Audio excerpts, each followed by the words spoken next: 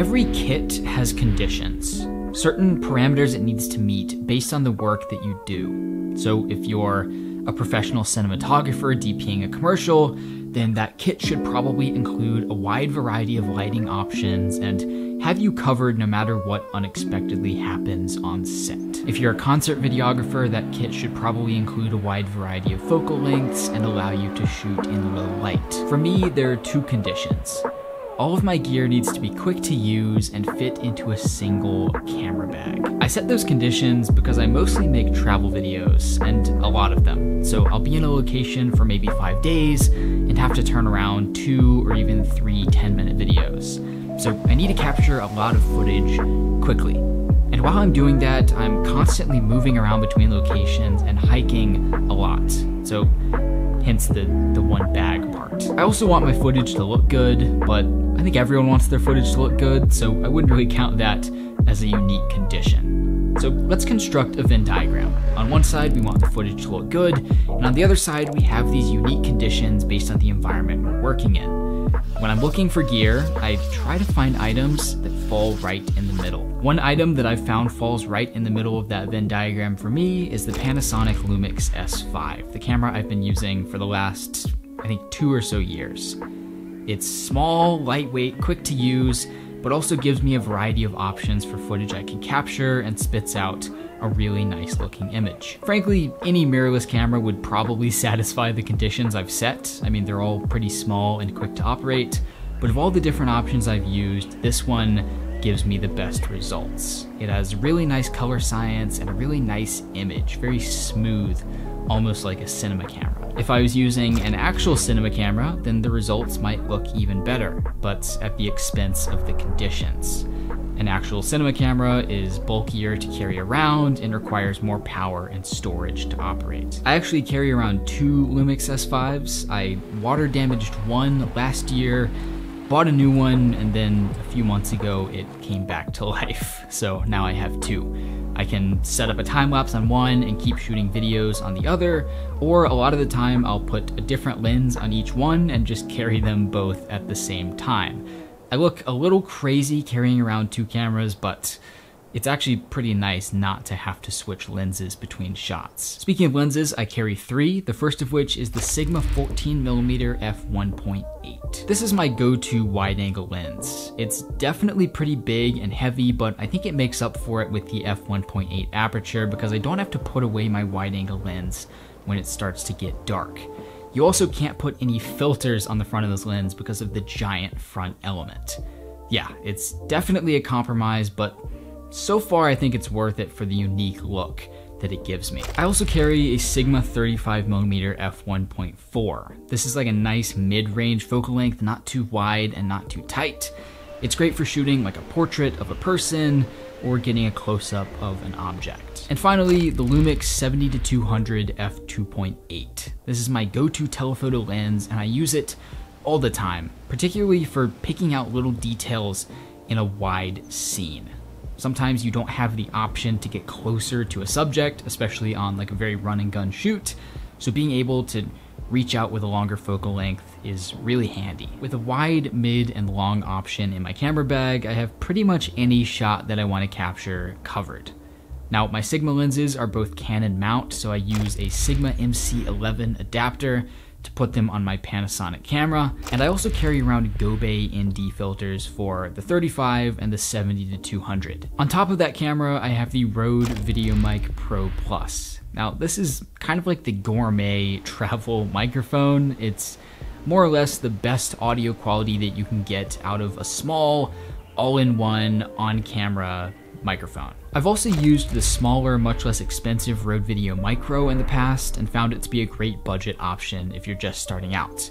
And again, I could get much better audio quality out of like a professional studio shotgun microphone, but think about how impractical that would be for capturing footage on the fly. All right, so we've got the camera, the lenses, and the microphone, and all of that sits on top of my Peak Design travel tripod. This tripod is pretty lightweight, I mean nothing crazy, but what makes it a great travel tripod is just how quick it is to operate. The ball head, the quick release, the way the pieces fit really flush together, everything just seemed very thought out and streamlined. I pretty much always carry a DJI Air 2S for capturing aerial footage. I've had this drone since right around when it came out and I've no gripes with it. It's small, compact, easy to set up and operate, and gets great footage. I think we get a little too caught up in the flashy specs of the newest drone and kind of glaze over the fact that this is a flying camera. That's insane. A drone is a great tool for a run and gun travel shoot. It's a quick, easy way to capture some incredible footage of a wide landscape and add some variety and production value to the footage you're coming home with. Because these are run and gun travel shoots, I don't carry around much of anything in the way of lighting, but I do keep a LumeCube Panel Pro in my bag. It's a really easy light to just hide inside of a vehicle or a window to add a little pop of interest into a scene. It's really small, it has great battery life, you can set it to any color you want to. It's just a great option for this kind of filmmaking. Most of the time, I also carry around an action camera, specifically the DJI Action 2. And I use this to capture sections of hikes that Whoa. are maybe a little too technical to oh, capture God. with a larger rig, or to capture just actions that are particularly interesting to see my point of view. It's really small, quick to use, and produces a great image for an action camera, so no complaints so far. I also carry around a little set of SmallRig ND filters for the Action 2, as well as a GoPro bite mount for getting those first person shots. For both my camera and my drone, I carry several extra batteries, so I can shoot for at least a full day, usually more, without having to worry about recharging anything. And for the record, I am not a battery elitist.